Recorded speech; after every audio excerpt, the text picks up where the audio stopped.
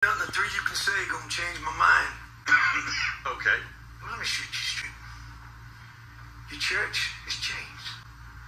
When Eli was heading things up, I was happy. Now that he ain't, I don't like it so much. The thing is, we are gonna make this right. Okay, we're young and up to the task, dude. That's the thing.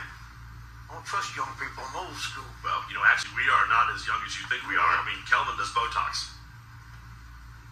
do Botox. You do, you do too, do Botox. done Botox. Okay, then why is there an indention where your sunglasses pushed your Botox forehead? There isn't. Yeah, there is. Dusty. Uh-huh. Right here. Jesse's got more grays than you do, man. Dude is rocking a bad digest. He didn't used to look like a deformed Dracula. I just changed my shampoo, is all you idiots. See? Right there. When I used to watch your mom and dad, I felt the love. It was nice. I don't feel the love in this current configuration, so pulling up my stakes.